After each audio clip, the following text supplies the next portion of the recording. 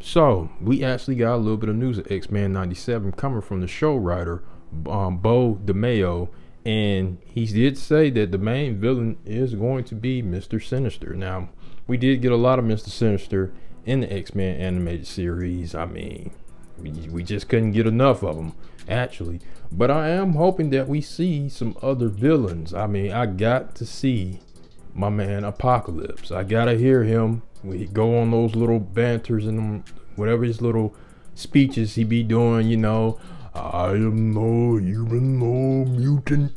I am Apocalypse. I need to hear all that. Now I hope they do bring him back. I hope we get some some um, interstellar type episodes as well. I did enjoy the Phoenix Saga when they went out to space and they fought the Kree Empire and all that. The Shi'ar, the Shi'ar Empire, not mistaken.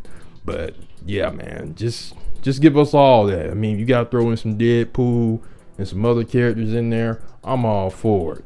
Let's go. Now they did say maybe fall, but hey, if it comes in earlier than that, I'm all for that as well. But post comments, let me know what you guys think of this news. Make sure you subscribe to the channel.